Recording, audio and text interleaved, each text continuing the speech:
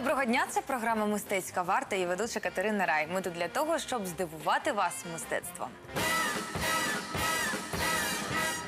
У 2015 році в Абу-Дабі на острові Саадіят з'явиться свій Лувр. Близькосхідна філія знаменитого французького музею виросте частково на піску і частково з води, а побудує його знаменитий Жан Нувель, майстер футуристичної архітектури.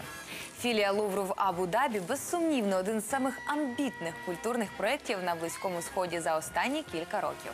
Цей великий проєкт задуманий і вцілений Міністерством культури Франції та владою ОАЕ. І вже точно відомо, що 300 експонатів з колекції Паризького Лувру, самого знаменитого музею світу, на 30 років, а саме на цей час укладено контракт, переїдуть в Емірати.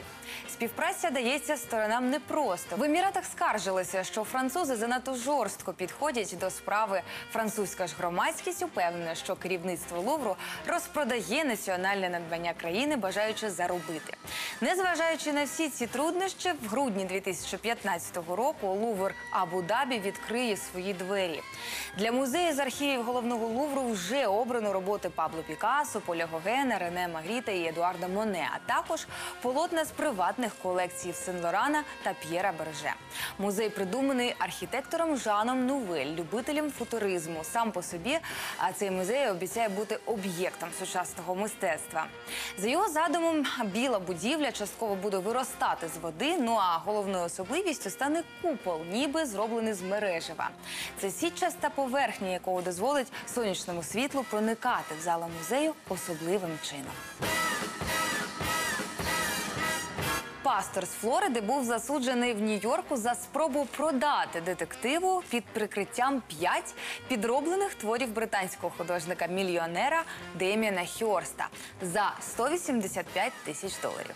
46-річний Кевін Сазерленд був засуджений судом присяжних у Верховному суді штату за викрадення майна у великих розмірах. Йому загрожує до семи років позбавлення волі. Пастор, який захоплюється арт-дилерством, намагався виставити картини на торги в Сотбіс. Коли аукціонний будинок почав перевіряти походження живопису, виявилося, що їм пропонували підробку.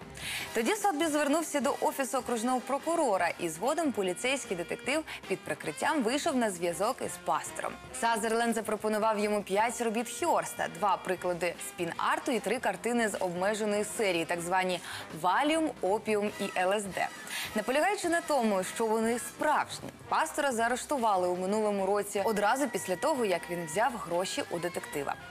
48-річний Хьорст є одним із найвідоміших британських художників. Він отримав престижну премію Тьорнер в галузі сучасного мистецтва в 95-му році. Відомий він своїми консерваціями мертвих тварин і різнобарвними спот-картинами. Він є одним з найбагатших художників в світі.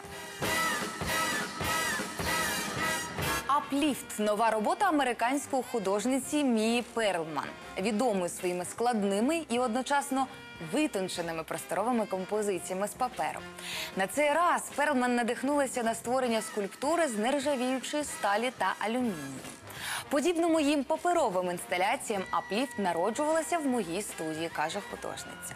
Апліфт в перекладі підйом була зроблена за замовленням певної страхової компанії і вразила замовників. Для когось вона стане втіленням вогню, для когось повітря. Сама художниця вбачає в скульптурі якийсь метафоричний візуальний міст між новою штаб-квартирою компанії і оточуючим її міським пейзажем. Мія Перлман закінчила престижний Корнельський університет за фахом образотворче мистецтво. Художниця нерідко виставляється в рамках персональних і групових виставок в різних музеях і галереях країни. Перлман живе і працює в Брукліні, Нью-Йорк. Це була програма Мистецька варта. Якщо у вас є бажання дізнатися про сучасне мистецтво більше, дивіться нас вже завтра.